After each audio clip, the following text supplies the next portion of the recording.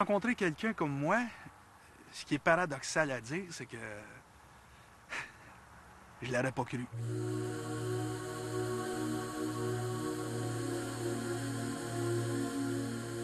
J'ai été un peintre en bâtiment, moi, là. Je suis pas un, grand intellectuel, un grand de ce monde. J'étais en train de peinturer, j'étais au travail. Je suis fait approcher d'une ligne de haute tension, 14 400 kV. Ça m'a électrisé. J'étais aux soins intensifs. euh, j'étais hors de mon corps. Alors, je me suis promené. J'ai, essayé de, parler à ma femme. Ma femme ne me voyait pas. J'étais, vraiment terrifié. Il y a eu un cercle de lumière qui s'est ouvert. Euh, ça m'a aveuglé. Je me sentais bien, je me sentais attiré. J'étais comme arrivé là, j'avais les yeux par terre. Euh, j'ai- vu des pieds, des pieds avec des sandales. Je me suis levé les yeux et là, j'ai vu mon grand-père avec un ami. Il était là, comme ça. Pourtant, il est, décédé en 1981, mon grand-père. Ils ont tous l'air d'avoir 20 ans. On dirait que tout, le- monde là-bas est à, son à sa meilleure apparence. On dirait que c'est à ton meilleur là-bas.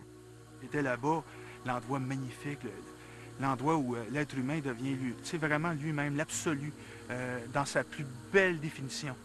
J'étais complètement perdu. Moi, je me suis amusé, euh, j'ai visité, euh, je me suis promené, euh, j'ai posé des questions à droite, à gauche.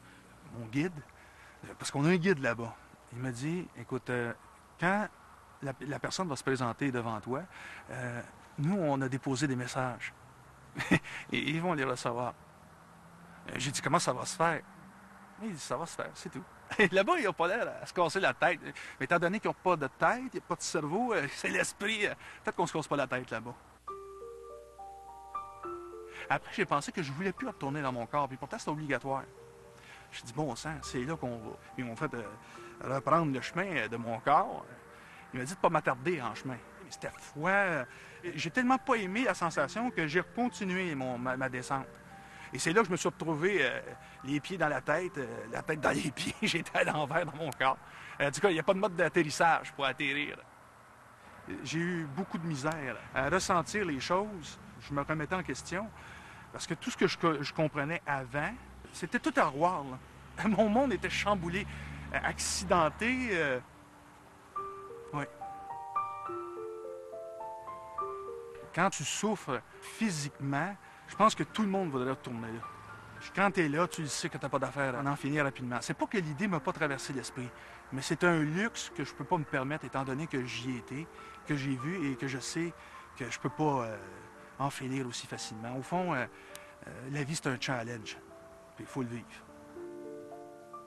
Eh, Seigneur, la vie, c'est un challenge, il faut le vivre. hein? Ouais. Hein, on va en discuter après ça, mais juste, juste parce que ça fait un bon... euh, Il y a Marc-André de Saint-Sauveur-des-Monts qui dit, il y a quatre ans, je me rends à l'urgence, je vais pas bien. La dernière phrase que j'ai entendue d'une infirmière, on est en train de le perdre. Alors, mon corps flottait comme béatitude, c'était extraordinaire.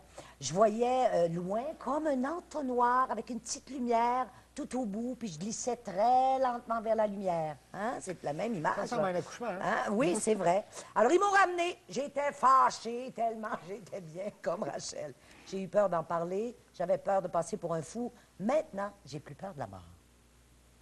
Deux choses. Hein? D'abord, cesser de, en tout cas, voir la mort tout à fait autrement après une expérience semblable. Ça, c'est quelque chose de très commun dans tous les rapports verbaux qui nous sont faits. Euh, L'autre chose, ben, et, et dans votre cas, c'est encore plus frappant.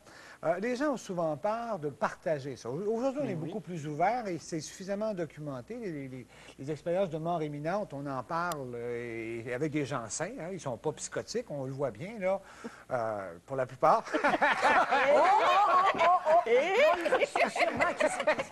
Mais c'est beau que c'est très facilitant parce qu'il y a des gens qui ont vécu ça à votre époque et qui ont été un peu embêtés, traumatisés. Écoute, tu parlais de ça, on t'envoyait voir le psychiatre, on t'internait, là.